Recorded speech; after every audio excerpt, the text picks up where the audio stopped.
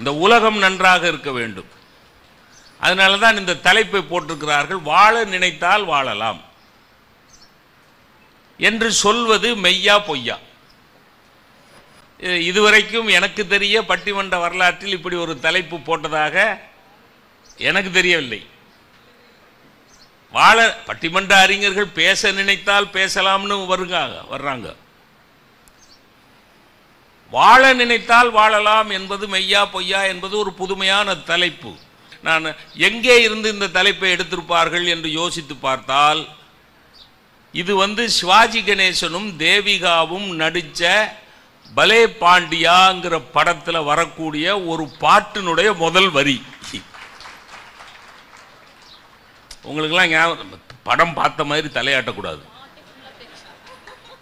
அது ஏன் வயசு காலத்து படத்துக்கு இவங்க இவங்க இப்படி இப்படி தலையை தலையாட்டினு அர்த்தம். இப்போ இப்போ பாரதி தலையாட்டினா அர்த்தம் இருக்குது வயசான பொண்ணு ஓகே. இந்த வாழ நினைத்தால் வாழலாம் வழியா இல்லை பூமியில் ஆழக்கடலும் சோலையாகும் ஆசை இருந்தால் நீந்தி வா அப்படின்னு அந்த வரி முதல் நாலு வரி. எனக்கு பாடணும்னு ஆசை. ஆனால் வேணாம் உலக சமாதானத்துக்கு அது ஆபத்து. அதில் வேண்டாம். அந்த வரியை நல்லா கவனிங்க. வாழ நினைத்தால் வாழலாம். வழியா இல்லை பூமியில். ஆழக்கடலும் சோலையாகும். எவ்வளோ நம்பிக்கை பாருங்க. நீ கடலில் விழுந்துட்டியா நீ கடலில் கப்பல் பயணம் போகிற போது கப்பலில் ஓட்ட விழுந்து கடலில் இருக்கிற தண்ணீர் எல்லாம் வந்துருச்சா? நீ மூழ்கிட்டு மூழ்கி கொண்டிருக்கிறாயா? கவலைப்படாத. ஆழக்கடலும் சோலையாகும். ஆசை இருந்தால் நீந்தி வா. அதான் அதான் கண்ணதாசன். உனக்கு வாழணும்னு ஆசை இருந்தா சாதிக்கணும்னு ஆசை இருந்தா நீச்சலடி மூழ்காதே முங்கி போகாதே. ஆசை இருந்தால் நீந்தி வா நான் பாருங்க. ஆசை என்பது அழிவுக்கு அறிகுறி என்றார் புத்தர். நண்பர்களை நான் முரண்படுகிறேன். ஆசை என்பது அழிவுக்கு அறிகுறி அப்படின்னு புத்தர் சொன்னார். ஒரு புது கவிஞன் அதை முரண்பட்டு எழுதினான். ஆசை என்பது அழிவுக்கு அறிகுறி என்பதும் ஆசைதானேன்னா. எனக்கு ஏன் அந்த வரியை பார்த்த தலைப்பை பார்த்தவொடனே எனக்கு ஏன் பிடிச்சதுன்னா இந்த பலே பாண்டியாங்கிற படத்தோட டைட்டில் எனக்கு ரொம்ப பிடிக்கும். நான் படித்த காலத்திலேயே எனக்கு ரொம்ப பிடிக்கும். ஏன் தெரியுமா? பலே பாண்டியாங்கிற அந்த ரெண்டு சொல்லும் மகாகவி பாரதியாரோட தொடர்புடையது. எனக்கு மகாகவி பாரதியாரை ரொம்ப பிடிக்கும். அவர் கவிதைகள்லாம் எனக்கு உயிர். இங்கே இருக்கக்கூடிய மாணவ செல்வங்களுக்கு சொல்லுகிறேன் நீங்கள் என்ன படிப்பு வேண்டுமானாலும் படியுங்கள். நீங்கள் என்ஜினியரிங் படியுங்கள் என்ன வேணாலும் படிங்க. மெடிசின் படிங்க. நிறைய படிப்பு இருக்குங்க. நீங்கள் என்ன வேணாலும் படிங்கங்க. அதெல்லாம் வச்சு சம்பாதிக்க தான் முடியும். நான் தெளிவாக சொல்கிறேன் அதையெல்லாம் வச்சு சம்பாதிக்க தான் முடியும். மனசுக்கு சமாதானம் அதில் வராது. ஒரு வேலை கிடைக்கும் சம்பாதிக்கலாம். ஆனால் உங்கள் மனசுக்கு சந்தோஷமும் சமாதானமும் கிடைக்கணும்னா தினம் ஒரு ரெண்டு திருக்குறள் ஒரு ரெண்டு பாரதியார் பாட்டு படிங்க உங்கள் வாழ்க்கையில் சமாதானமும் சந்தோஷமும் வரும். அந்த பாரதியாரோட நேரடியாக தொடர்புடையது தான் இந்த பலே பாண்டியா. அப்போ பாசிட்டிவ் ஆட்டிடியூட் வாழ்க்கைனா முடியும்னு நம்பணும். விரல்கள் பத்து மூலதனம்னா பாருங்க தாரா பாரதி. முடியாதுங்கிறது மூடத்தனம். முடியாது என்பது மூடத்தனம். உன் விரல்கள் பத்தும் மூலதனம். நினைச்சா சாதிக்க முடியும்னு நினைக்கிறது தான் வாழ்க்கை. அது அப்போ வாழ நினைத்தால் வாழலாம் பாசிட்டிவ் முடியும்னு நம்பணும். ஏரோப்ளேனில் ஏறி உட்காந்துருக்கோம் இப்போ தான் பக்க கொஞ்ச நாளைக்கு முன்னாடி சுவிட்சர்லாந்து போனேன். ஏரோப்ளேன் டேக் ஆஃப் ஆகையிலேயே டேக் ஆஃப் ஆகிக்கிட்டு இருக்கையில் அந்த ஏர் ஹோஸ்டஸை கூப்பிட்டு மேடம் வெடிச்சிருச்சுன்னா என்ன செய்கிறது அப்படின்னு நான் கேட்குறது அந்த ஏர் ஹோஸ்டஸ் சொல்லுவா நீ இருக்கிற வரைக்கும் வெடிக்காது. சேஃபாக போய் சேஃபாக லேண்ட் ஆகி சுவிட்சர்லாந்தை சுற்றி பார்த்துட்டு வருவோன்னு நம்பிக்கையோடு தான் ஃப்ளைட்டில் ஏறணுமே ஒழிய ஏறி உட்கார்ந்த உடனே அதை தான் இந்த மெய்யின்னு பேசுகிற மூணு பேர் பேசுகிறாங்க பாசிட்டிவ் இந்த மூணு பேர் இருக்கிறாங்களே வாழ நினச்சா வாழலையா? ஆ? ஏன் முடியாதுங்கிற? ஏன் எதிர்மறையாக சிந்திக்கிற? சோறு போட்டிருக்கிறா மனைவி அழகாக சமைச்சு வச்சிருக்கிறா. நல்லா பிசைஞ்சு அவ முகத்தை பார்த்துக்கிட்டு சாப்பிடுங்க ஐயா பல ஆம்பளைய பொஞ்சாதி முகத்தையே பார்க்க மாட்டேங்கிறான் சாப்பிடையில. இந்த மாடு மாடு சாப்பிடும் பார்த்துருக்கீங்களா கவுந்தபடிக்கு இந்த மாடு எங்கேயாவது எங்கேயாவது வக்கியோல் திங்கிற போது மாடு நிமிந்து கோணாரை பார்த்து கோணார் வக்கியோல் சூப்பர் டேஸ்ட். சொல்லியிருக்கு. அது மாதிரி தான் பல பேர் சாப்பிட்றான். கவுந்தா கவுந்த தான் தண்ணி வாங்கி குடிச்சு போயிடுவோம். அந்த பொம்பளை நினைக்கும் மவனே உனக்கு என் கையால் தான் சாவு. டேய் உனக்கு பார்த்து பார்த்து சமைச்சு வச்சிருக்கேன். ஒரு வார்த்தை முகத்தை பார்த்து நல்லா இருக்கு ராஜாத்தி.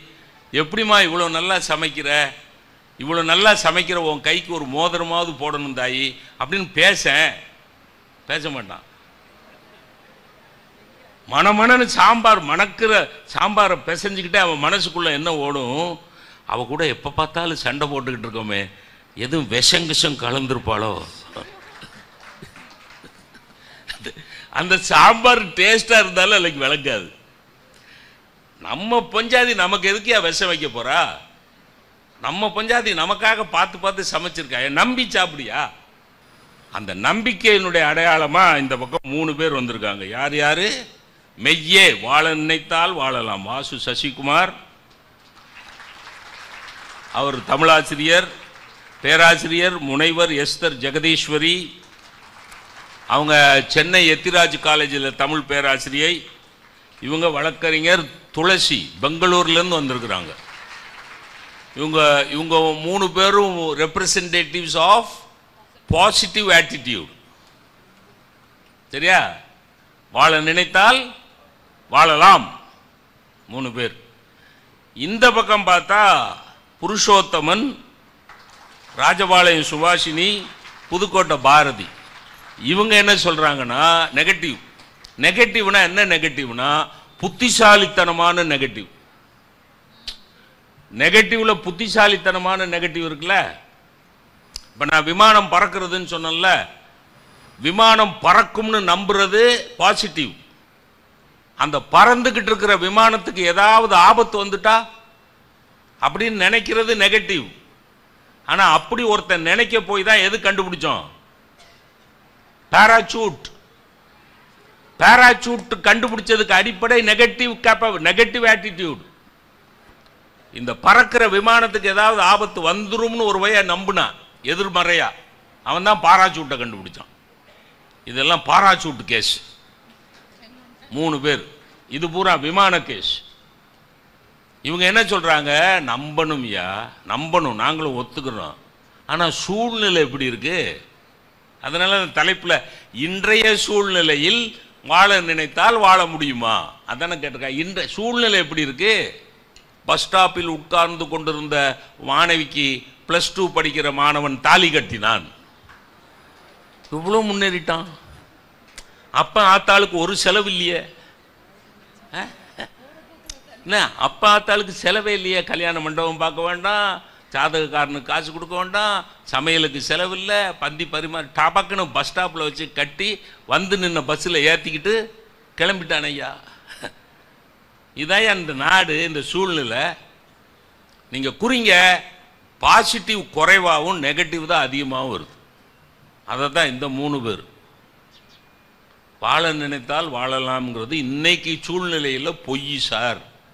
முடியாது சார். நம்ம என்ன நினைச்சாலும் முடியாது சார். ரொம்ப அருமையான சபை கிடைச்சிருக்கு இன்னைக்கு. இன்றைய சூழ்நிலையில் வாழ நினைத்தால் வாழலாம் என்பது மெய்யா பொய்யா என்கிற இந்த அருமையான பட்டிமன்றத்தில் மெய்யே என்கிற அணி துவங்குகிறது. அந்த அணியினுடைய முதல் பேச்சாளராக மரியாதைக்குரிய சகோதரர் வாசு சசிகுமார் அவர்கள் வருகிறார்கள். அவர்களை வாழ்த்தி வாதங்களை வைக்குமாறு கேட்டுக்கொண்டு முன்னுரையை நிறைவு செய்கிறேன். நன்றி வணக்கம். அழகிலே விரிந்த நெற்றி. ஐயா அழகிலே விரிந்த நெற்றி அறிவிலே முதிர்ந்த தோற்றம் விழியிலே அன்பு தேக்கம் விழிப்பிலே பாச தாக்கம் மொழியிலே தோய்ந்த நெஞ்சம் முத்தமிழ் நாவில் கொஞ்சம் எங்கள் பட்டிமன்ற நாவலருக்கு அரங்கு நிறைந்த கரவொளியோடு அன்பு வணக்கம். ரொம்ப நன்றி ஐயா. ஐயா பூமியில் இருந்து விட்டு போவதல்ல வாழ்க்கை. பூமியில் இருந்து விட்டு போவதில்லை வாழ்க்கை தம் பெயரை சில காலமாவது இருக்க செய்து விட்டு போவதுதான் வாழ்க்கை என்று வாழ்க்கையின் மீது பற்று கொண்டு நம்பிக்கை கொண்டு என்னோடு பேச பயணித்திருக்கும் எனதனி நம்பிக்கை நட்சத்திரங்களே. இப்ப அவங்கள சொல்லி ஆகணும். அவங்கள எப்படி சொல்றதுங்க ஐயா? முடியாது நடக்காது நிலைக்காது கிடைக்காது என்று சொல்லி சோதனை மேல் சோதனை போதுமடா சாமி. வேதனைதான் வாழ்க்கை என்றால் தாங்காது பூமி என்று வேதனை கண்ணீரை வடிக்க வந்திருக்கும் எதிர் அணியினருக்கு ஒன்றை மட்டும் சொல்லிக்கொள்ள நான் ஆசைப்படுகிறேன். சோதனைகள் தோல்விகள் எல்லாம் உன்னை தூங்க வைக்க பாடும் தாலாட்டு அல்ல. தோல்விகள் எல்லாம் உன்னை தூங்க வைக்க பாடும் தாலாட்டு அல்ல. நீ நிமிர்ந்து நிற்பதற்கான தேசிய கீதம் என்பதை நீங்கள் உணர்ந்து கொண்டால் வாழ நினைத்தால் வாழலாம் என்பதை நீங்களும் ஒப்புக்கொள்வீர்கள். இந்த மாணவிகள்லாம் எப்பேற்பட்டவங்க தெரியுமா? எந்த பிரச்சனை வந்தாலும் சரி. அதுக்காக ஃபீல் பண்ண மாட்டாங்க. அதை எப்படி டீல் பண்ணலாம்னு நினைக்கக்கூடிய. கேஎஸ்ஆர் மாணவிகள். ஏன். நான் இதை சொல்றேன் அப்படின்னா நம்ம சொன்னோன்னா அப்படியே கற்பூரம் மாதிரி பத்திக்குப்பாங்க சார். பொன்னி நதி பார்க்கணுமே. பொழுதுக்குள்ள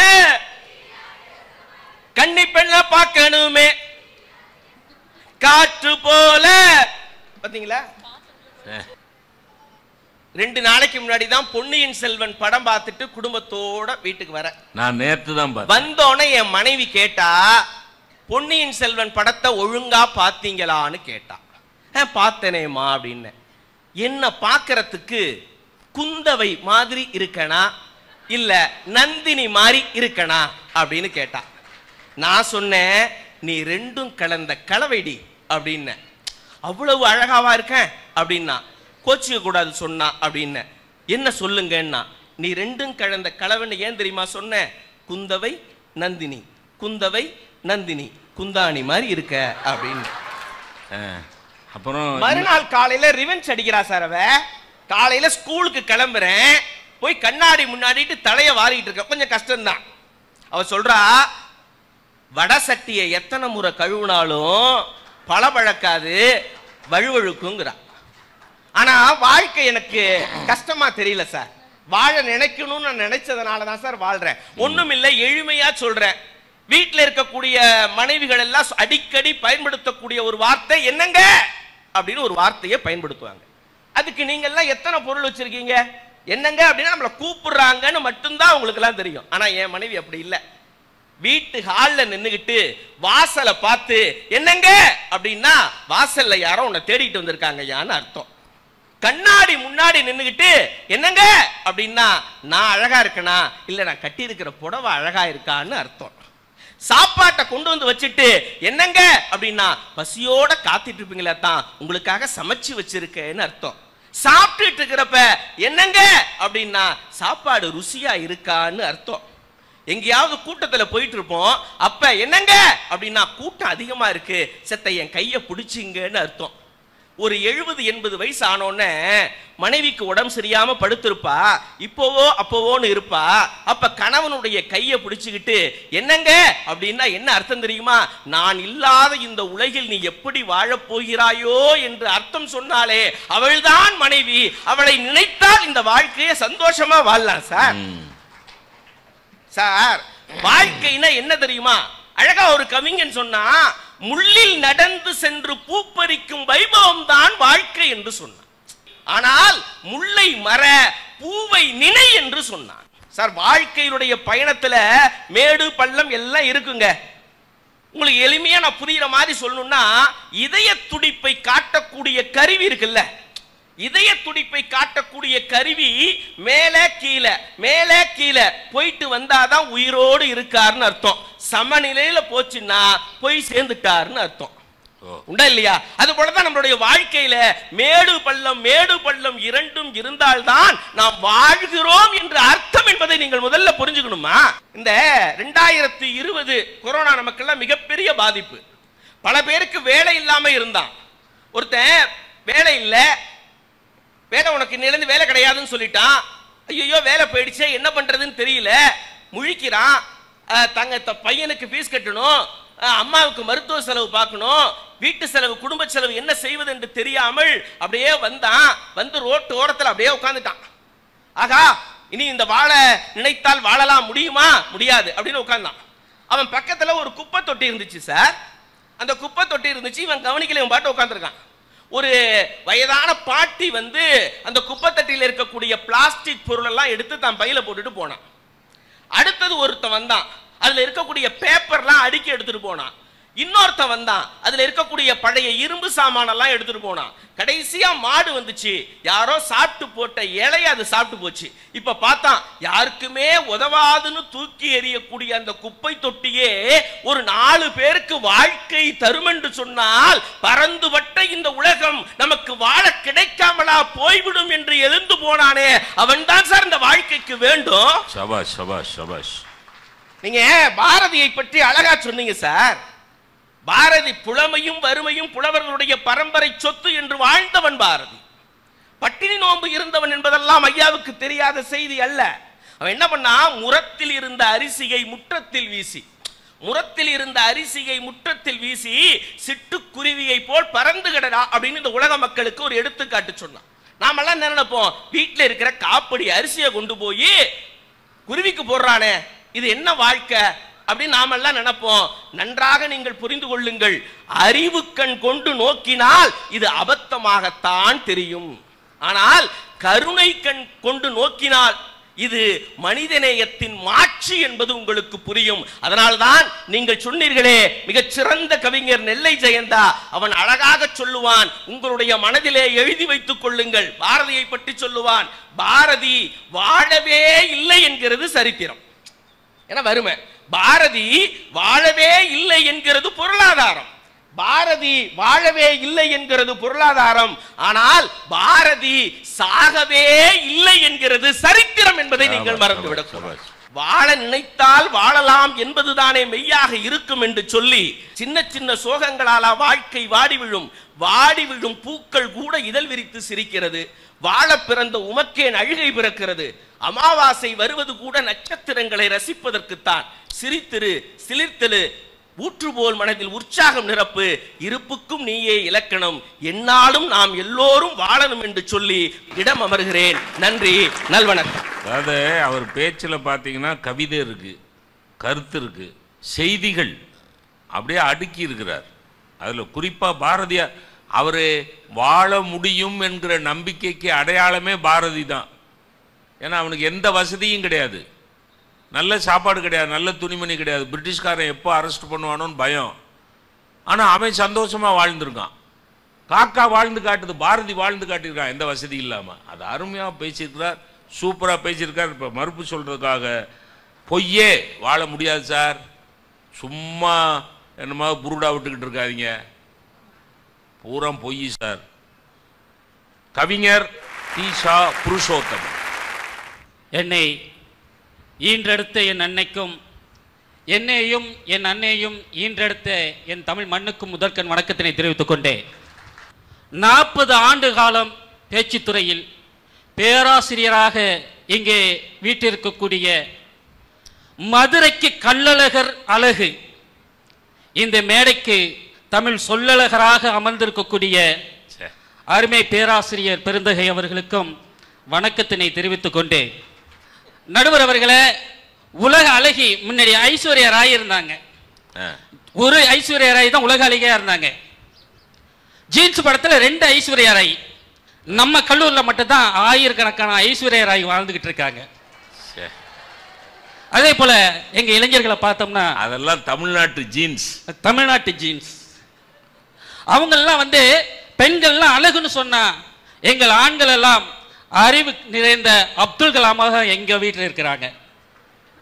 ஒரு ரெண்டு வருஷத்துக்கு முன்னாடி கொரோனா கொரோனான்னு ஒரு நோய் வந்துச்சு. அது படாத பாடுபடுத்துனுச்சு நம்மளையெல்லாம் அதுதான் பாருங்க திருச்சியில் ரயில் ஏறி அப்படியே போய்கிட்டு இருக்கோம். திருச்சியில் ஏறினப்போ யாருமே ஏறல. தஞ்சாவூர் போய் ஸ்டாப்பில் நின்றுச்சிங்க நின்னப்போ அவ்வளோ கூட்டம் தும்மு தும்முன்னு ஏட்டோம் ஏறின பிறகு ஒருத்தன் அப்படியே பார்த்தான். என்னடா அவ்வளோ கூட்டம் ஏறிடுச்சே? நம்ம ஃப்ரீயாக போகலான்னு நினைச்சோம். இவ்வளோ கூட்டம் ஏறிடுச்சேன்னு அச்சம் அப்படின்னு ஒரு தும்மு தும்முனா பாருங்க. எல்லா கூட்டமும் கொரோனா இருக்குமோ அப்படின்னு சொல்லி எல்லாம் இறங்கி அங்கிட்டு ஓடிட்டாங்க. ஓடின பிறகு நம்மால் நினைச்சான் சூப்பரான ஐடியா பண்ணி நம்ம எல்லாரையும் விரட்டியாச்சு. படுத்துருவோண்டா அப்படின்னு சொல்லிட்டு துண்டை விரிச்சு அதில் படுத்துட்டான். படுத்து தூங்கி நிம்மதியாக தூங்கிட்டு போனான் சேஷன் வந்துருச்சு காலையில் விடிஞ்சிச்சு சேஷன் வந்துருச்சு போல இருக்கு அப்படின்னு நினச்சி எழுந்திரிச்சு பார்த்தான் பாருங்க. அப்பதான் அவனுக்கு தெரியுது இது கொரோனா பேஷண்ட் உள்ள கம்பார்ட்மெண்ட் அப்படின்னு சொல்லிட்டு அதை கழட்டி விட்டுட்டு ட்ரெயின் பாட்டுக்கு சென்னை போச்சு திருச்சிலே அந்த வண்டி கிடக்குது. இங்கே ஒன்றும் இல்லை நம்ம இருட்டுக்கடை அல்வா திருநெல்வேலியில் இருட்டுக்கடை அல்வா. உலக நாடிலேயே இருட்டுக்கடை அல்வானா அவ்வளோ பெசலுங்க அவ்வளோ ஸ்பெஷலான இருட்டுக்கடை அல்வா அந்த அல்வா வியாபாரி வந்து மிகப்பெரிய ஃபேமஸ் ஆனா அவர் வந்து அவருடைய சூழ்நிலை இனிப்பை தந்தாரு. தம் நாடு முழுவதும் இனிப்பை தந்தாரு. ஆனா அவருடைய வாழ்க்கை கசப்பாக இருக்கும் மாறியது. அவர்கிட்ட பணம் இல்லையா? பொருள் இல்லையா? எல்லாமே இருக்கு. காரு எல்லாமே இருக்கு. எல்லா வசதி வாய்ப்பு இருந்து அவர் தற்கொலை பண்ணிக்கிட்டாருன்னா அதுக்கு காரணம் என்னங்க? இன்னைய சூழ்நிலை தானே. இன்னைய சூழ்நிலையில அவர் வாழணும் நினைச்சிருந்தாலும் அவர் வாழ முடியாம போனிச்சே அதை பத்தி தான் நாங்க பேச வந்திருக்கோம். நடுவர் அவர்களே இன்னைக்கு தீபாவளி கொண்டாடுறோம் நம்ம. ஆயிரக்கணக்கான ஆடு ஆயிரக்கணக்கான கோழி வாழணும்னு நினைக்குது ஆனா இன்னைக்கு தீபாவளியில குக்கர்ல வெந்துகிட்டு இருக்கு. ஐயா ஒரு ராணுவ வீரர் ஒரு ராணுவ வீரர் என்ன பண்றாரு? லீவ்ல வந்திருக்காரு. லீவ்ல வந்துட்டு மறுபடியும் திரும்ப போறதுக்காக அவருடைய மனைவியை கூப்பிட்டு கண்ணே ஒரே ஒரு முறை என்னை அணைத்துக்கொள் ஏனென்றால் மறுபடியும் இந்த வாய்ப்பு கிடைக்குமா என்பது தெரியாது. நான் அடுத்த முறை ஊரில் இருந்து வரும் பொழுது பெட்டியோடு வருவனா இல்லை பெட்டிக்குள் வருவனா என்பதும் எனக்கு தெரியாது. நான் அடுத்த முறை வரும் பொழுது தேசிய கொடியை ஏற்றி விட்டு வருவனா அல்லது தேசிய கொடியை போற்றி விட்டு வருவனா என்பதும் தெரியாது. எது எப்படி இருந்தாலும் வீட்டை நீ பார்த்துக்கொள் நாட்டை நான் பார்த்து கொள்கிறேன் என்று சொன்னானா? இன்னைய இன்னைய சூழ்நிலையில் ஒவ்வொரு- சூழ்நிலையில் வாழ நினைத்தால் வாழலாம் என்பது பொய்யே பொய்யே பொய்யே என்று சொல்லி தந்த வாய்ப்புக்கு நன்றி பாராட்டி விடைபெறுகிறேன். நன்றி வணக்கம். அதாவது இருட்டுக்கடை அல்வா திருநெல்வேலியில் மூன்றரை மணிக்கு கடையை திறந்தானா? எட்டரை மணிக்கு மூடிடுவான் அத்தனை அத்தனை பேர் வரிசையில் நின்று வாங்குவான். அந்த கடையுடைய அதிபர் தற்கொலை பண்ணிக்கிட்டு செத்து போகிறான் அப்போ என்ன காரணம்? எங்கேயோ ஒரு இடி இடிபாடு எங்கேயோ ஒரு இடர்பாடு எங்கேயோ ஒரு இடிபாடு எங்கேயோ ஒரு இடர்பாடு இருக்கிறது. நீங்கள் இருட்டுக்கடை அல்வா சாப்பிட்ருக்கீங்களா சாப்பிட்ருக்கீங்களா அந்த ஒரு விசுவாசத்தோடு பேசுங்க. வாங்க எஸ்தர் உங்களுக்காக தான் அந்த வார்த்தையை சொல்லியிருக்கேன். விசுவாசத்தோடு பேசுங்க. வாழ நினைத்தால் வாழலாம் என்பதற்கு நான் வேற எங்கேயுமே உதாரணம் சொல்லலை நடுவர் அவர்களே இங்கே சொல்ற நடுவர் அவர்களே நிறைய அவமானங்கள் நிறைய புறக்கணிப்புகள் நிராகரிப்புகள் மிக மிக குள்ளமான ஒரு பெண்மணி எந்த மாவட்டத்தை சார்ந்தவர் தெரியுமா? ஈரோடு மாவட்டத்தை சார்ந்த கீதா குப்புசாமி என்கின்ற ஒரு பெண்மணி எங்கே சென்றாலும் வேலை கிடையாது. தோற்றத்தை பார்த்து கொண்டு அந்த உருவத்தை பார்த்து கொண்டு உடல் ஊனத்தை பார்த்து கொண்டு அவர்களுக்கு வாழ்வதற்கு ஏற்ற அந்த வாய்ப்புகள் கிடைக்காத பட்சத்தில் வாழ நினைத்தால் வாழலாம் என்று மாற்றி யோ- யோசிக்கக்கூடிய அந்த தன்னம்பிக்கை எண்ணத்தை அவர்கள் தங்களுடைய வாழ்க்கையில எடுத்து செயலாற்றும் பொழுது இன்றைக்கு சொந்தமாக ஒரு கார்மெண்ட் தொழிற்சாலையை நடத்தி கொண்டு அவரை போல இருக்கக்கூடிய அநேகமான ஊனமுற்றவர்களுக்கு வேலை வாய்ப்பை தந்து அவர்களுடைய வாழ்க்கையிலும் ஒளி விளக்கை ஏற்றி வைத்திருக்கிறார்கள் அந்த கீதா குப்புசாமி என்று சொன்னால் வாழ நினைத்தால் வாழலாம் நடுவர்களே. ஒரு அணில் ஒரு குளத்தில் தண்ணியில் தன்னுடைய வாளை நனைத்து கொண்டிருந்தது. அந்த தண்ணியை நனைத்து விட்டு பிறகு அந்த மணல் பரப்பிலே வந்து அதை தட்டி தட்டி காய வைத்து கொண்டிருந்தது. இதை ஞானத்தை தேடி அங்கங்கே அலைந்து கொண்டிருந்த புத்த பெருமான் அப்படியே அந்த காட்டு வழி பாதையில் வரும்பொழுது கவனித்துக் கொண்டிருந்தார். நன்றாக கவனித்துக் கொள்ளுங்கள். ஒரு அணில் தன்னுடைய வால் பகுதி எடுத்துக்கொண்டு சென்று ஒரு பெரிய குளத்தில் இருக்கிற தண்ணியில தன்னுடைய வாளை முக்குகிறது. அந்த தண்ணீரை எடுத்துக்கொண்டு வந்து மறுபடியுமாக தட்டி தட்டி காய வைக்கிறது. இது போன்றே பல தடவைகள் செய்து கொண்டிருக்கிறது. அவருக்கு கோவமே வந்துடுச்சு புத்தர் பெருமானுக்கு. கூப்பிட்டு கேட்டாரு ஏ அணில what nonsense you are doing Buddha talks in English to squirrel. Yes yes நடுவர் அவர்களே. வெரி குட் அப்போ அவர் கேட்டாரு என்ன செஞ்சிட்டு இருக்க அணில? ஏ முட்டாள் அணில என்ன பண்ணிட்டு இருக்க இல்ல புத்தர் பெருமானே இந்த குளத்து நீரை நான் வற்ற வைக்க வேண்டும் என்று செய்து கொண்டிருக்கின்றேன். ஏய் முட்டாள் அணிலே நீ அல்ல உன்னை போல கோடி அணில்கள் கூட்டம் வந்தாலும் இந்த குளத்து நீரை வற்ற வைக்க முடியாது என்று புத்தர் பெருமான் சொன்னார். உடனே அந்த அணில் சொல்லியது ஐயா இந்த குளத்து நீர் வற்றுமா? வற்றாதா என்பதை பற்றி எனக்கு கவலை இல்லை. ஆனால் இந்த குளத்து நீரை வற்ற வைக்க வேண்டும் என்று நான் முடிவு செய்து வை- விட்டேன். அதனால் என்னுடைய அந்த முடிவிலிருந்து ஒருபோதும் நான் மாறப்போவதில்லை. நான் இப்படித்தான் வாழ வேண்டும் என்று எனக்கு அந்த இலக்கை நான் இன்றைக்கு தீர்மானித்து விட்டேன். அதனால் ஒருபோதும் மாறப்போவதில்லை என்று அந்த அணில் சொன்ன பிறகு புத்தருக்கு ஞானம் வந்தது. அவையோர்களே நீங்கள் தெரிந்து கொள்ளுங்கள். வாய்ப்புகள் கிடைக்கும் பொழுதும் தற்கொலையான எண்ணங்கள் ஏற்படும் பொழுதும் சோர்வான எண்ணங்கள் ஏற்படும் பொழுதும் நம்மால் வாழவே முடியாது என்று நினைக்காதீர்கள். வாழ நினைத்தால் வாழலாம் என்பதை நீங்கள் உங்களுடைய உள்ளத்தில் தீர்மானிக்கும் போதுதான் வாழ்க்கை வசந்தமாகும். நன்றி பாராட்டி விடைபெறுகின்றேன். நன்றி வணக்கம். சபாஷ் சபாஷ்.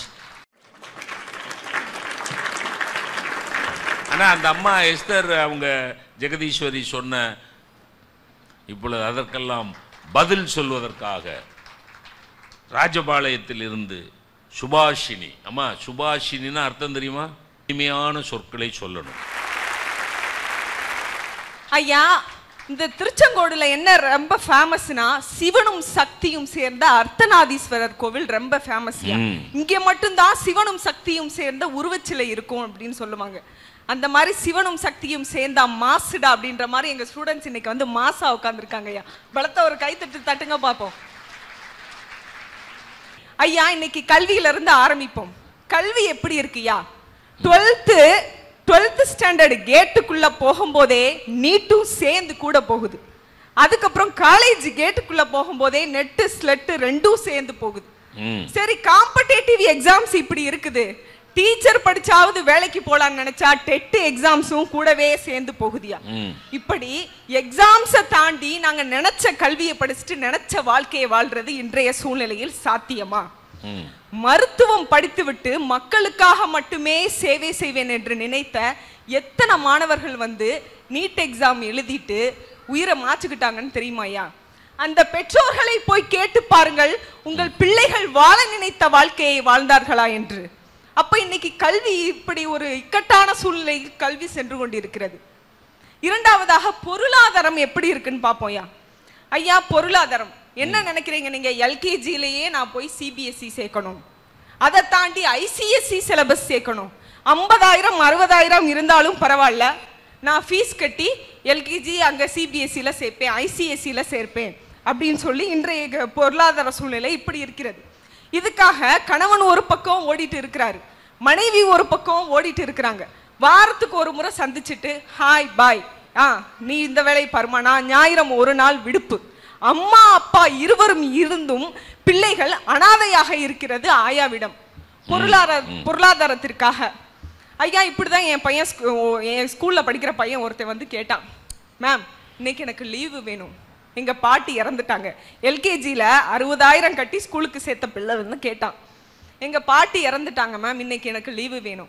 அம்மா பெத்த பாட்டியா அப்பா பெத்த பாட்டியாடான்னு கேட்டேன். இல்லை இங்கிலாந்தில் உண்ட எலிசபெத் பா- பாட்டி இறந்துட்டாங்க மேம் எனக்கு லீவு வேணும்னு கேட்குறான் இன்றைய சூழ்நிலையில் பிள்ளைகளோட மனநிலையும் வாழ்க்கையில பிள்ளைகளுக்கு நிம்மதி இருக்குதா? இப்படி பெற்றோர்கள் ஓடிக்கொண்டே இருந்தால் பிள்ளைகள் அன்பை எங்க போய் தேடுவாங்கய்யா என்னோட ஸ்டூடெண்ட்ஸ் இப்படிதாங்க ஒரு பையன் வந்து கேட்டான்.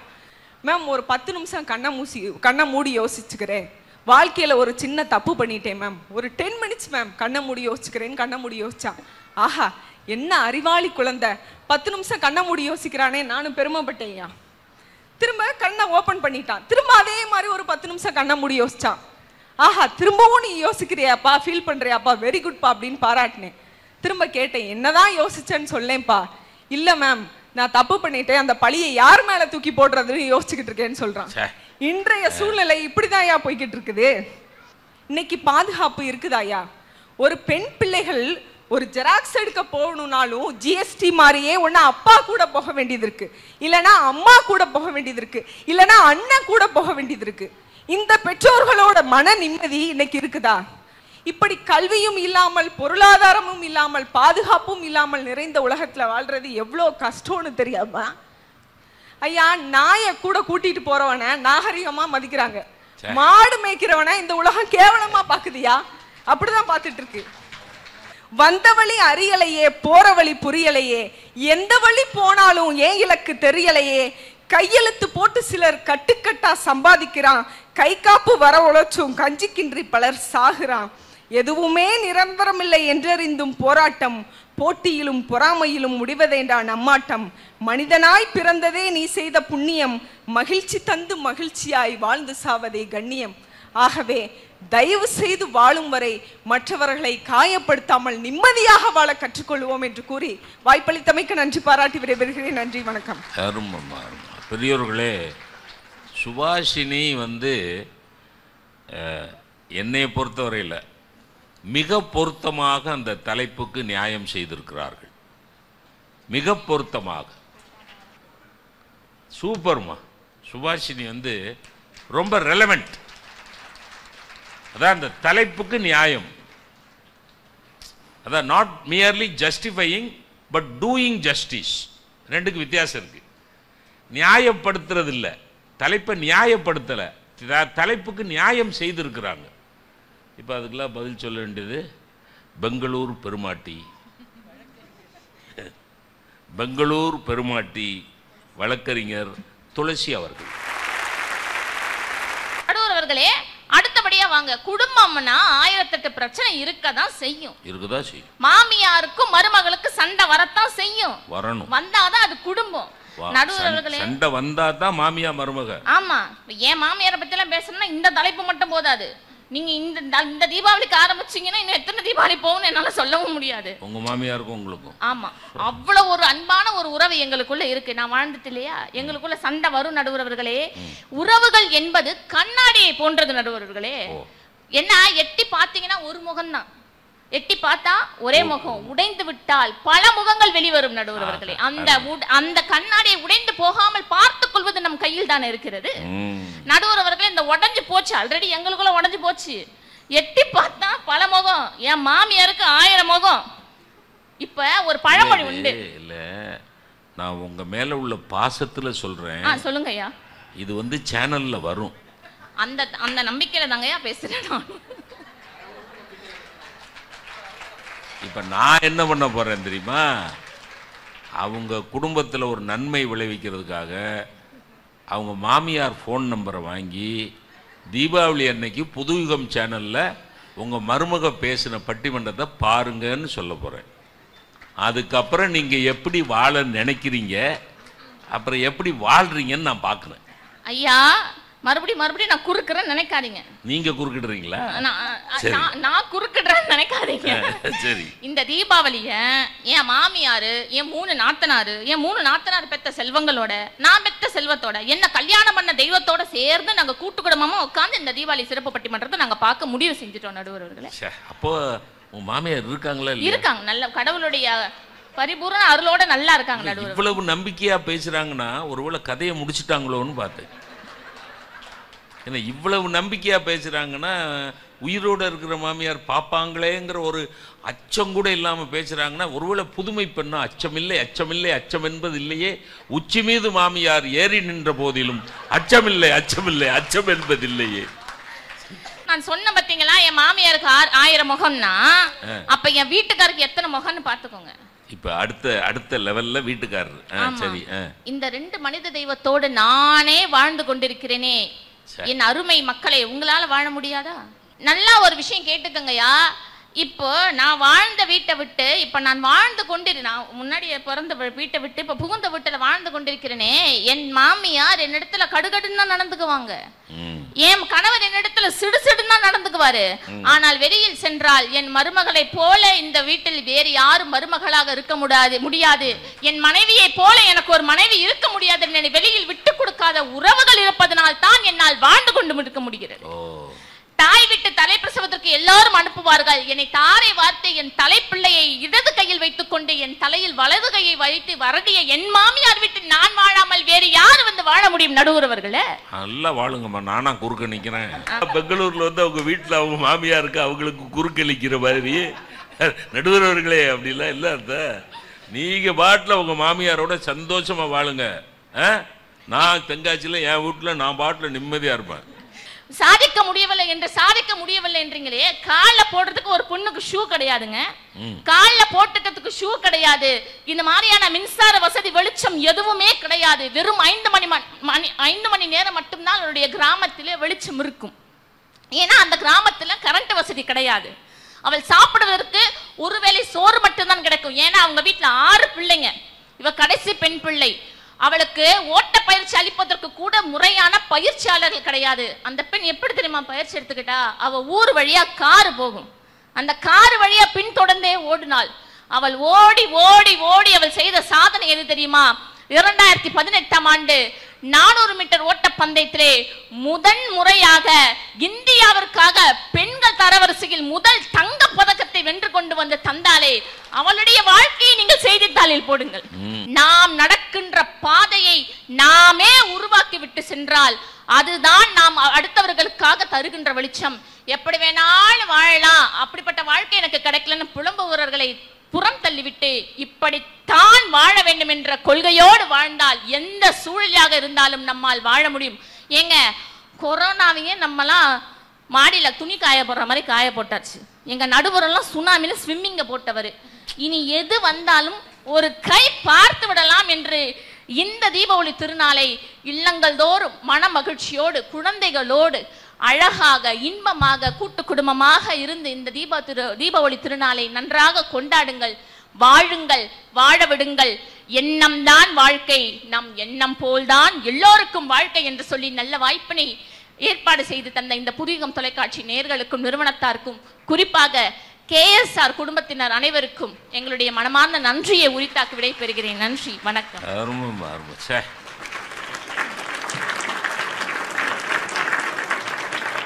பாதை தெரிந்தால் பயணம் தொடரும். தெரியலைங்கிறது தான் அந்த கட்சி. பாதை தெரிந்தால் if if you help me I will achieve நீ எனக்கு உதவி செய்தால் நான் சாதிப்பேன். உதவி செய்யலைனா இப்ப பாதை தெரிந்தால் பயணம் தொடரும். ஓகே. பாதை தெரியலையேங்கிறது தான் இந்த கட்சி. புரியுதா? ஆனால் நீங்கள் சூப்பராக பேசுறீங்கம்மா. துளசிங்கிறது ஒரு தெய்வீக செடி. துளசிங்கிறவங்க ஒரு தெய்வீக பேச்சாளர். சூப்பர். அருமையாக பேசிட்டு. இப்போ துளசிக்கு பதில் சொல்றதுக்கு பாரதி. திக்கெட்டும் வெற்றி முரசு கொட்டும் புதுயுகம் தொலைக்காட்சியின் நேர்கள் அனைவருக்கும் மனமார்ந்த வாழ்த்துக்களை சொல்லி திருச்செங்கோடு கேஎஸ்ஆர் குழுமத்தினருக்கு என்னுடைய பணிவான வணக்கத்தையும் அற்புதமான இந்த சிந்தனை அரங்கத்தை சீரோடு வழிநடத்தி கொண்டிருக்கும் எங்கள் போற்றுதலுக்குரிய நடுவர் பெருந்தகை அவர்களுக்கும் இரு அணி பேச்சாளர்களுக்கும் எனது பணிவான வணக்கம். தீபாவளி அன்னைக்கு எண்ணெய் தேய்ச்சி குளிக்கிற பழக்கம் உண்டுல்ல? நான் எதுக்கு என்ன தேய்ச்சி குளிக்கணும்? நான் சோப்பு தேய்ச்சி தான் குளிப்பேன். இது நல்லெண்ணெய் கடலை எண்ணெயான கதை மாதிரி இருக்குது. அது வடிவேலு மாதிரி என்னென்ன வேணும்? நல்லெண்ணெய். இது நல்லெண்ணெய் தானே? ஓ எண்ணெய் தேய்த்து குளிப்பது. கங்கா ஸ்நானம். நீங்க சம்பாதிச்ச காசுல வாங்கினது நீங்களே போய் பார்த்து பார்த்து தேர்ந்தெடுத்து வாங்கிட்டு வந்தது உங்க வீட்டு வாசல்ல வச்சு நீங்களே அதை பத்த வைக்கிறீங்க வெடிக்கல அப்படின்னா நினைச்சது நடந்துருமா? என்ன சார் அமைதியா இருக்கீங்க எல்லாரும்? உங்களோட வெடிதானேங்க? ஆமாம்மா இது வெடிக்கணும்னு நினைச்சுதானே அதை பத்த வைக்கிறீங்க? ஆமாம்மா. நினைச்ச மாதிரி அது வெடிக்குதா? தம்மா துண்டு பட்டாசே நம்ம பேச்ச கேட்கறது கிடையாது. வாழ்க்கை அப்படியே இவங்களுக்கெல்லாம் குழு குழுன்னு அமைஞ்சிருதான் எந்த ஊர்ல வந்து புழுகுறீங்க? ஒரு. பட்டாசு ஒரு பட்டாசே நம்ம பத்த வச்சா வெடிக்க மாட்டேங்குது. அது ஏன் தலை தீபாவளிக்கு எனக்கு நல்லா ஞாபகம் இருக்கு. அந்த லட்சுமியுடைய வச்சு நான் வைக்க போறேன் பக்கத்துல போறேன் எங்க மாமனார் மாப்பிள்ள பார்த்து வெடிச்சிட போகுது. பார்த்து வெடிக்கிறதுக்கு தானே வெடி? அவரு மாமனார் என்னை நேசிக்கிறாராம் மாப்பிள்ள பார்த்து பார்த்து வெடிச்சிட போகுது வெடிச்சிட போகுது. வெடிக்கிறதுக்கு தானே வெடி வைக்கிற? அதுல வேற. வாழ்க்கை இப்படித்தானேங்க இருந்துட்டு இருக்கு? ஒரு சாதாரணமான ஒரு விஷயம் கூட நம்ம நினைச்ச மாதிரி நடக்குதா. இட்லி அக்கி உளுந்தும் அரிசியும் ஊற வச்சு ஆட்டுறோம். அரைச்ச மாவை எடுத்து ரெண்டையும் கரைச்சு வைக்கிறோம். நாம நினைச்ச மாதிரியே மறுநாள் காலையில புளிச்சு வருதா? புளிச்சு வந்தா ஒண்ணு ஓவரா புளிச்சு போகுது அதை பணியாரமாக்குறோம். இல்லை புளிக்கவே மாட்டேங்குது தோசையாக சுடுறோம். தோசையை சுட்டு டேபிளில் வச்சா இது என்ன பணியாரமான்னு கேட்குறாங்க வீட்டில் பணியாரத்தை சுட்டு வீட்டில் டேபிளில் வச்சா இது என்னம்மா தோசையான்னு கேட்குறாங்க நினச்ச மாதிரி ஒரு பணியாரமும் தோசையுமே சுட முடியாத வாழ்க்கையில் இவங்க மூணு பேர் அங்கேருந்து வந்து அப்படியே நான் அப்படியே அப்படின்னு. அது இன்றைய சூழல் மட்டுமல்ல பல்லாண்டு காலமாக நம்முடைய தேசத்தில் இருக்கக்கூடிய புராணங்களை ஒரு நிமிடம் யோசிச்சு பாருங்க. மறுநாள் காலையில பட்டாபிஷேகம்னு சொல்றாரு தசரத மகா சக்கரவர்த்தி. தன் மகன் ராம ராமச்சந்திரமூர்த்தி கிட்ட அவன் சரின்னு சொல்லிட்டு போறான். பொழுது விடிஞ்சா சக்கரவர்த்தி பட்டம். ஆனால் தாய் கைகேகி வருகின்றாள். நீ கிடையாது. நீ காட்டுக்கு போ. என் பிள்ளைக்கு பட்டம் கொடுக்க போறேன்னு அவ சொல்றா. சரின்னு அவன் போறான். அவன் நினைச்சது மாறி போச்சா கைகேயி என்ன நினைக்கிறா? ராமபிரானை அனுப்பிவிட்டு தன் பிள்ளை பரதன் அந்த அரியாசனத்துல அமர வைக்க வேண்டும் என்று அவள் நினைக்கின்றாள். மகன் வருகின்றான். வந்த உடனே நீ எல்லாம் ஒரு தாயா? பேயேன்னு திட்டிட்டு எனக்கு அரியாசனமே வேண்டாம்னு அவன் என்று துறவு பூண்டு வெளியில போய் அவன் தங்குகின்றான். அப்படி நினைச்சு போன ராமபிரானுக்கு மனைவியோட போனோம். திரும்பி வந்தோம்னு நடந்ததா? அங்க போனா ராவணன் அங்கே அத்தனை கொடுமைகளையும் செய்து சீதா பிராட்டியை கடத்தி கொண்டு போகின்றான். சரி எல்லாரும் எல்லாருடைய உதவியோடும் வானரப்படைகளோடும் சென்று அவளை மீட்டு கொண்டு வந்தான். ராவணன் என்ன நினைத்தான் அறுபதனாயிரம் கோடி ஆண்டுகள் ஆட்சி செய்த அந்த ராவணனுக்கு தன்னுடைய ஒழுக்கம் ஒரு துளி மாறிய காரணத்தினால் அவன் வாழ்க்கை பாழாய் போனது.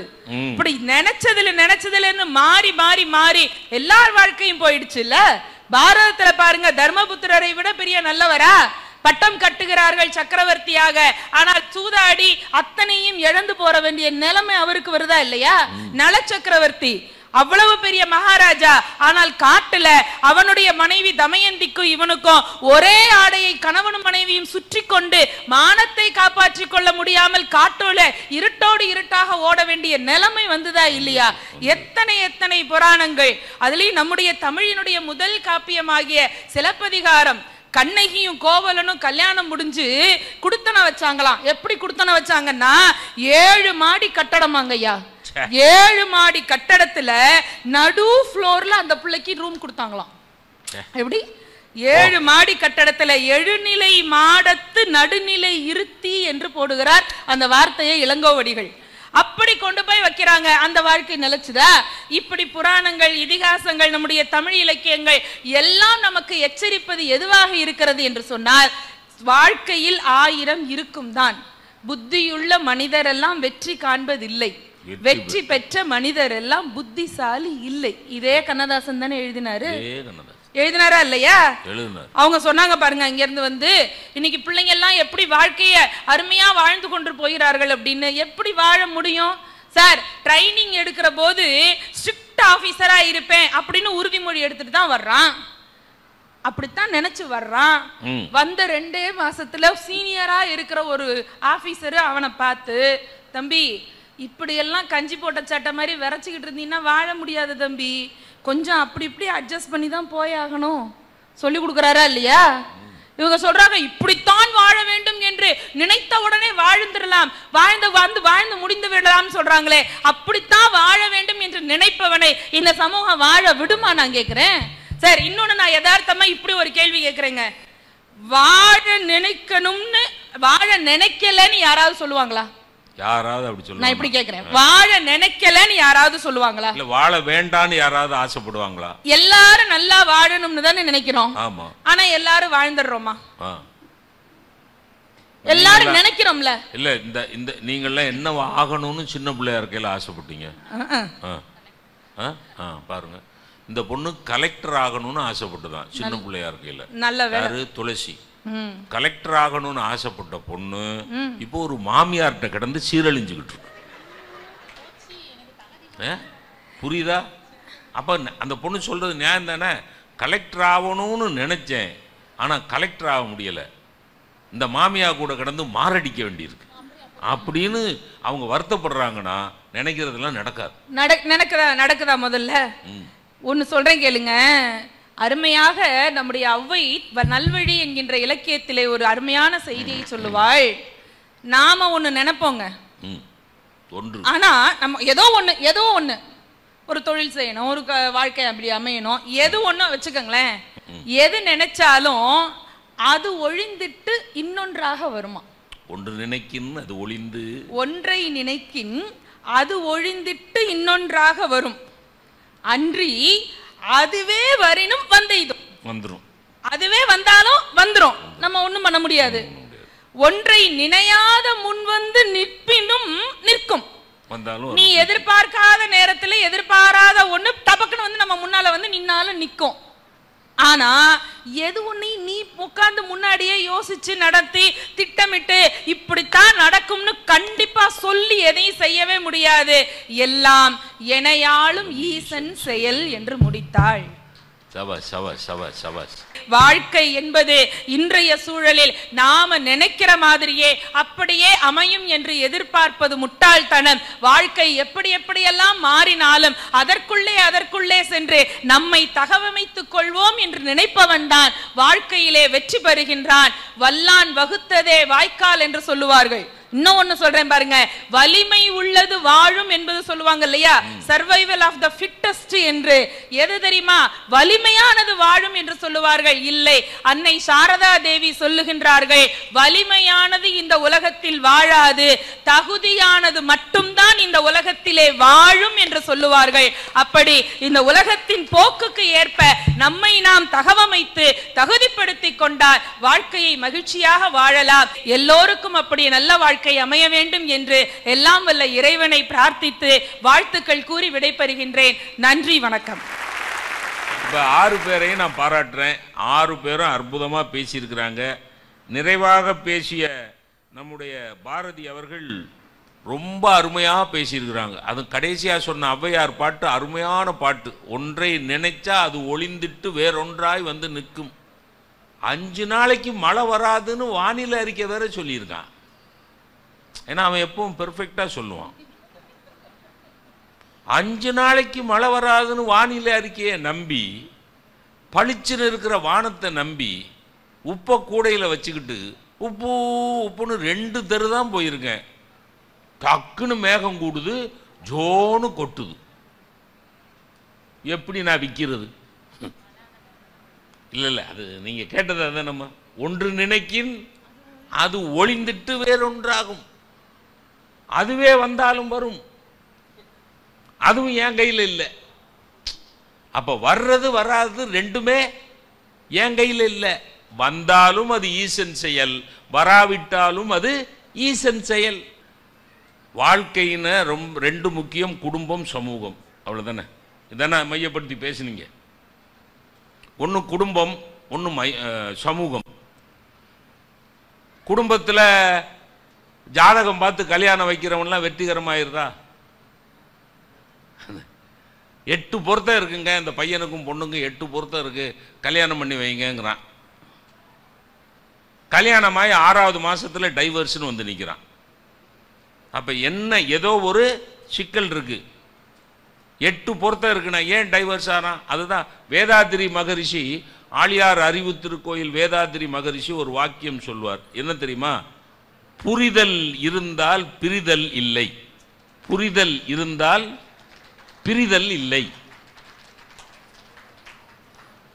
இப்ப கனவு சின்ன பையனுக்கும் சின்ன பொண்ணுக்கும் புரிதலே இல்லையே. ஒரு சமூக அமைப்புல அறிவுள்ளவன் இருந்தா நிம்மதியா வாழ முடியுமா? அன்புள்ளவன் இருந்தா நிம்மதியா வாழ முடியுமா? உண்மை. எங்கேயுமே உண்மை இல்லை. ஆனஸ்டி இல்லை. எங்கே இல்லை. நேர்மை இல்லை. உண்மை இல்லை. சார் ஹரிச்சந்திரன் உண்மை பேசினதுக்காக அவ்வளவு துன்பப்பட்டான்னு நம்ம புராணம் சொல்லுதுல. அப்போ ஹரிச்சந்திரன் பாராட்டுக்குரியவனா கேவலத்துக்குரியவனா? சொல்லுங்க. ஹரிச்சந்திரன் பாராட்டுக்குரியவனா அவமானப்படுத்தப்பட வேண்டியவனா? என்ன சார்? சொல்லுங்க சார். பாராட்டுக்குரியவன். ஆனால் இன்னைக்கு நிலை என்ன தெரியுமா? இன்னைக்கு சூழ்நிலை என்ன தெரியுமா? ஒருத்தன் உண்மை தான் பேசுவேன்னு தீர்மானம் பண்ணா அவனை பார்த்து சொல்றாங்க தெருவில் மாப்பிள்ள. ஹரிச்சந்திரன் போகிறான் மாப்பிள்ள. எப்படி?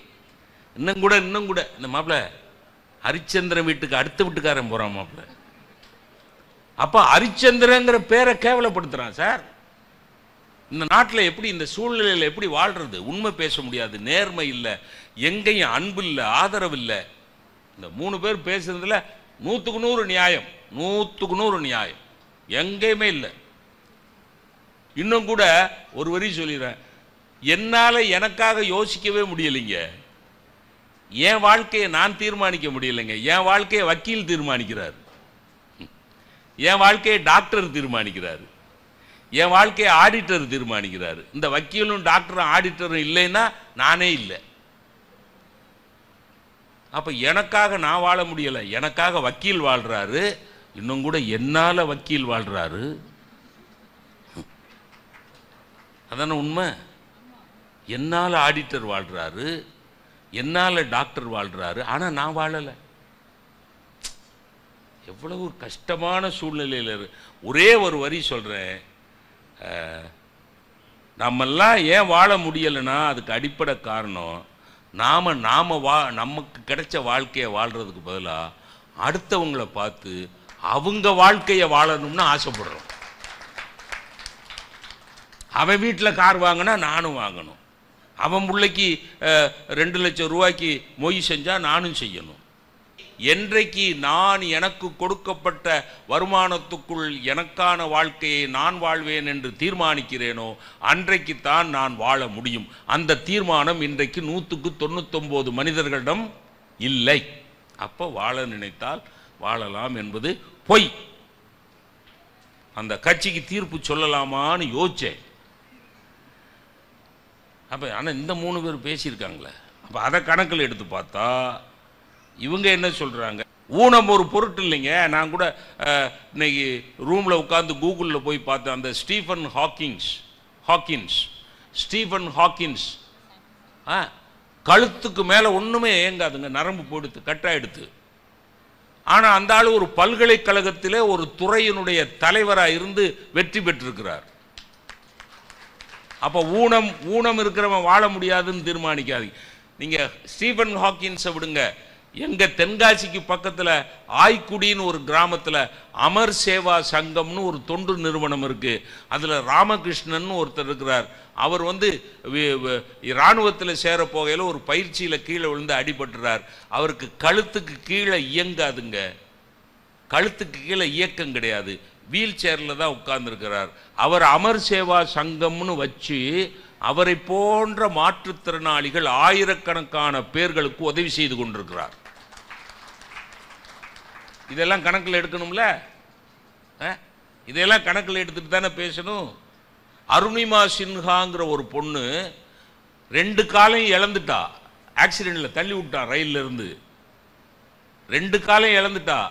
ரெண்டு காலையும் இழந்த அருணிமா சின்ஹா இந்த பெண் பிள்ளைகள்லாம் இந்த மாடலை எடுத்துக்கோங்க. அருணிமா சின்ஹா ரெண்டு காலையும் இழந்த பிறகு பச்சேந்திரி பால் அப்படின்னு சொல்லி மலையேற ஒரு வித்தை தெரிந்த பெண்ணிடத்தில் போய் பயிற்சி பெற்று உலகத்திலே உள்ள மிகப்பெரிய உயரமான ரெண்டு சிகரங்கள் ஒன்று எவரெஸ்ட் இன்னொன்று ஆப்பிரிக்காவில் இருக்கக்கூடிய கிளிமேஞ்சரோ இந்த ரெண்டு எவர எவரெஸ்ட் கிளிமேஞ்சரோ ரெண்டு சிகரங்களுடைய உச்சியையும் போய் தொடுகிறாள் ரெண்டு காலும் இல்லாத அருணிமா சின்ஹா முடியுமா முடியாதா? அப்போ வாழ நினைக்கிற மக்களே நீங்கள் நினைத்ததெல்லாம் நடக்காது. நீங்கள் வாழ வேண்டும் என்று நினைத்தால் நடந்ததையே நினைத்து கொண்டிருக்காதீர்கள். நம்ம நோயே அதுதான் இதை பாரதி சொன்னா சென்றதினி மீளாது மூடரே. மூடர்களே போனது மறுபடி வராது. சென்றதினி மீளாது மூடரே. நீர் சென்றதையே சிந்தை செய்து கொன்றளிக்கும் கவலை என்னும் குழியில் வீழ்ந்து குமையாதீர். என்ன பாட்டு சார்? நீங்க நடந்து போனதே நினச்சிக்கிட்டு கொமஞ்சுக்கிட்டே உட்காந்துருக்காதையா பத்து வருஷத்துக்கு முன்னாடி ஐம்பது வருஷத்துக்கு முன்னாடி எனக்கு இப்படி ஆயிடுச்சு அப்படியே? சென்றதினி மீளாது மூடரே. நீர் சென்றதையே சிந்தை செய்து கொன்றளிக்கும் கவலை என்னும் குழியில் வீழ்ந்து குமையாதீர். சென்றதனை சிந்தை செய்ய வேண்டாம் அப்புறம் தான் கொடுக்குறான் நம்பிக்கை. இன்று புதிதாய் பிறந்தோம். இன்று புதிதாய் பிறந்தோம். தின்று விளையாடி இன்புற்று இருந்து வாழ்வீர். எப்படி? நல்லா சாப்பிடு நல்லா விளையாடு. கிடைச்சதில் ரசி. வாழ்க்கையை ரசி. அடிப்படை என்ன தெரியுமா? பழச நினைக்காத. இன்னைக்கு தான் எனக்கு birthday this is my first day இன்று புதிதாய் பிறந்தோம்.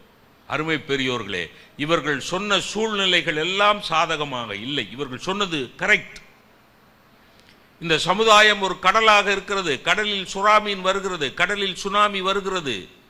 கடலில் பேரழி வருகிறது. எல்லாம் வருது ஆபத்து இருக்கிறது. ஆனால் அந்த கடலில் தான் சுனாமியும் சுரா- சூறாவளியும் வருகிற கடலில் தான் திறமையான மீனவன் மீன்பிடித்து வருகிறான். நீங்க சொன்னது கரெக்டு கடல் கொந்தளிக்கிறது சுனாமி வருகிறது சூறாவளி வருகிறது எல்லாம் உண்மை. ஆனால் இந்த திறமையான மீனவர்கள் மீன்பிடித்து வருகிறார்கள். பெரியோர்களே புதுயுகம் தொலைக்காட்சியின் வழியாக உங்களுக்கு நான் சொல்லுகிறேன். நாம் இந்த கொந்தளிக்கிற கடலில் திறமையான மீனவர்களாக இருப்போம். நம்மால் மீன் பிடிக்க முடியும். உங்களுக்கு இதே இதை உதாரணமாக சொல்கிறேன் மீனவன் மீனவன் மீன் பிடிக்க வலை வீசுகிறான். பல மீன்கள் மாட்டிக்கொள்ளுகின்றன. ஒரு மீன் தப்பித்துக் கொள்கிறது. பல மீன்கள் வலையில் மாட்டிக்கொள்ளுகின்றன ஒரு மீன் தப்பித்துக் கொள்ளுகிறது. எப்படி தெரியுமா? அந்த மீன் புத்திசாலித்தனமாக மீனவனுடைய காலடிக்கு போய் நின்று கொள்ளுகிறது. மீனவனுடைய காலடிக்கு கீழே போய் அந்த மீன் நின்று கொள்ளுகிறது. வீசுகிற வலையில் அந்த மீன் சிக்கவில்லை என்றால் சரியான முடிவெடுத்தல் சரியான முயற்சி இருந்தால் வாழ நினைத்தால் வாழலாம் என்பது மெய்யே என்று தீர்ப்பு கூறி வாய்ப்புக்கு நன்றி பாராட்டி விடைபெறுகிறேன். நன்றி வணக்கம்.